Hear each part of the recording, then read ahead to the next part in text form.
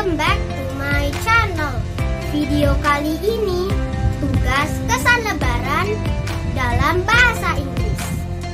All Muslim around the world have to celebrate Idul Fitri days, the big day where we celebrate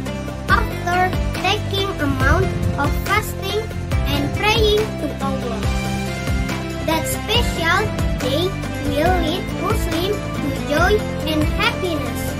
We forgive each other, gathering with bunch of family, share our story and tight up the relationship. For me, Idul Fitri means gather with all my family and taking trip to the grandma's hometown in Semarang, middle of Java.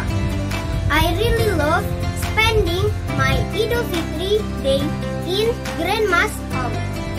There will be a lot of family, a lot of delicious food, and so much fun. We always eat ketupat and opor ayam in Lebaran Day. And then rendang one of Indonesian famous foods which has internationally known. Idul Fitri is one of Muslim great day. We share happiness with our relatives. Forgive each other, praying and worship to Allah for better life. Demikian tugas kesan lebaran dalam bahasa Inggris. Semoga bermanfaat. Sampai jumpa lagi di video selanjutnya.